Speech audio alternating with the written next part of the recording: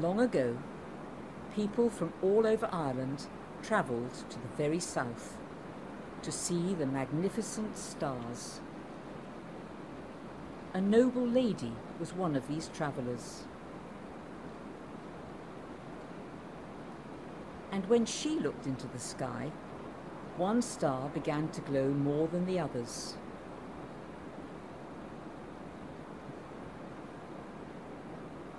Without knowing why, she opened her mouth and swallowed the star.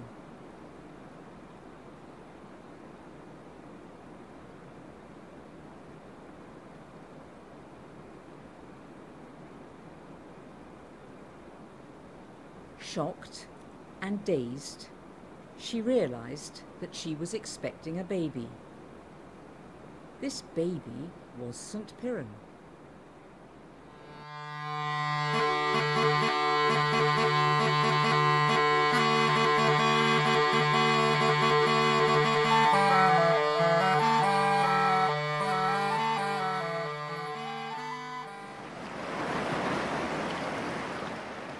Washed up on the coast of Cornwall, clinging to the millstone that he travelled on across the Irish Sea, St. Piran dreams.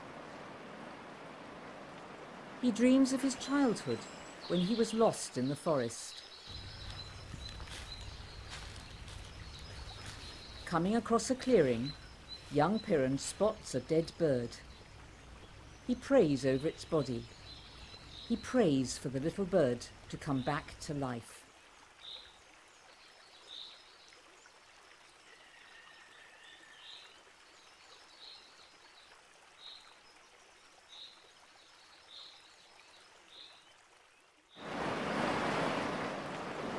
With the water lapping over his body, Piran wakes up.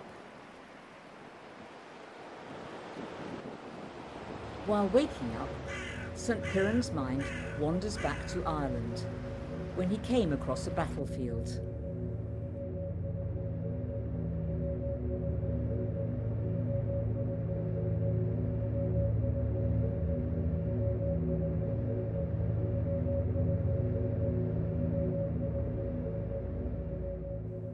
Piran could not understand the meaningless destruction of war, and he prayed for the fallen soldiers, bringing them back to life.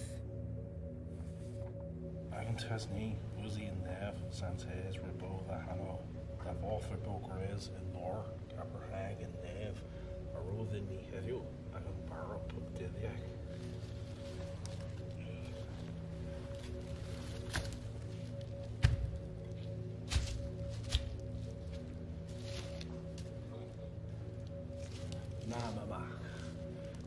Mar got rhaid níos más.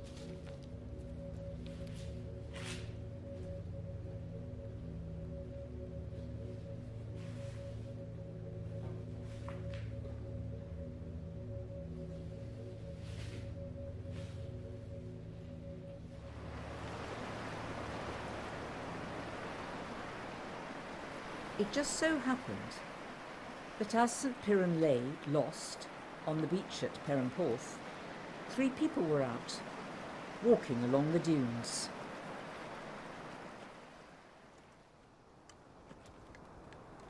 Badger was the thoughtful one, while Fox and Boar loved to joke around.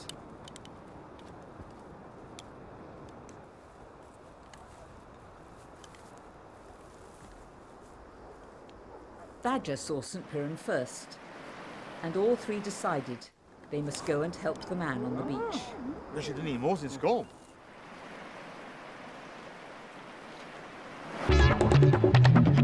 Roch a bhí. Le bhna bhí.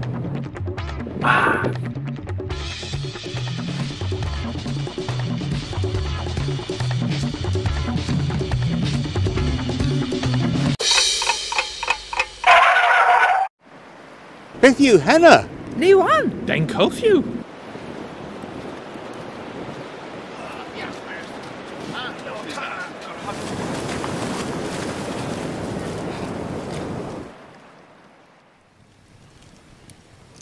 They took the lost man from the wreckage of his little boat to a cave to warm his bones.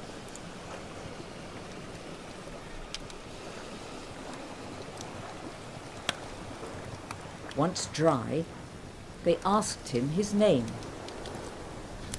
Puosta. Uh, ta uh, Kieran. Kieran, he replied. Kieran. Piran. Kieran. Piran. Kieran. Kieran. Uh, nah, uh, They did not nah, speak his nah, language Kieran, um, and decided to call him Piran. Kieran. Kieran. Badger asked him why he was here. Pragosta Oma. Piran replied in Latin, uh, Pater noster quies in Callius, sanctifier nominum tuum. Dane Sanji. so Boar, Fox, and Badger thought that he was a holy man. They told Piran that they would help him gather followers so he could teach them how to be Christians. Once they had gathered, they wanted to welcome him by teaching him a local song.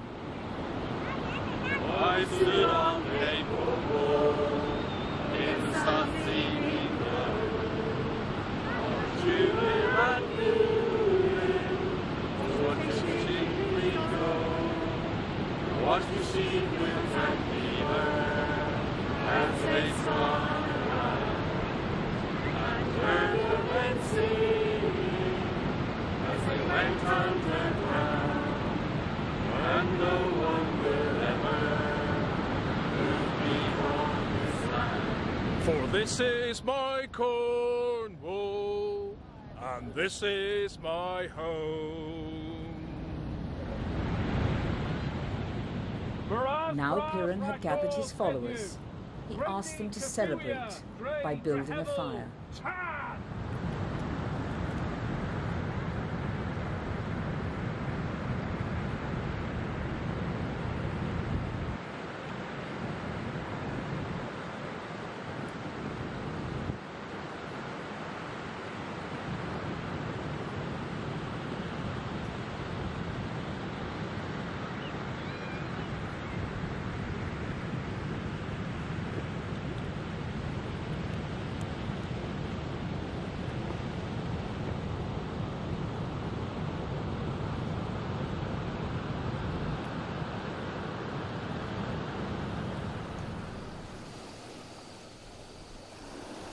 Once the fire was built, Piran and his followers gathered round for warmth. St. Piran prayed over the fire, focusing on a rock by his feet.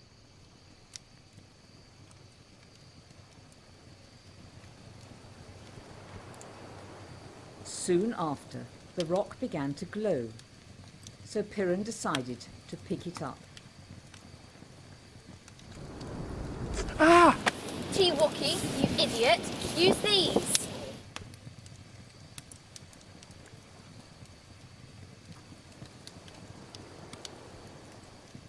Suddenly, a silver liquid began to seep out of the rock, forming a cross.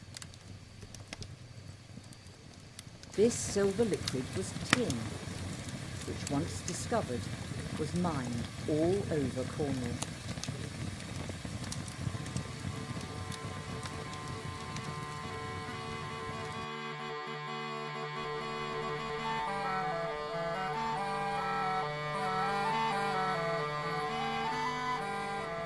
The new Christians of Cornwall, I give to you the word of the Father, the Son, and the Holy Spirit. And Spirit Sands.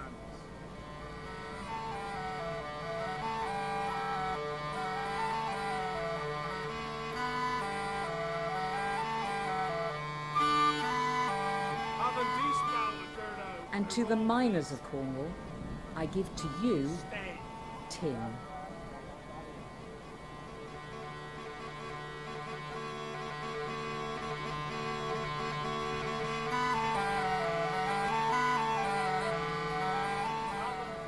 And to the children, I give to you the best gift of all, the Celtic nation of Cornwall.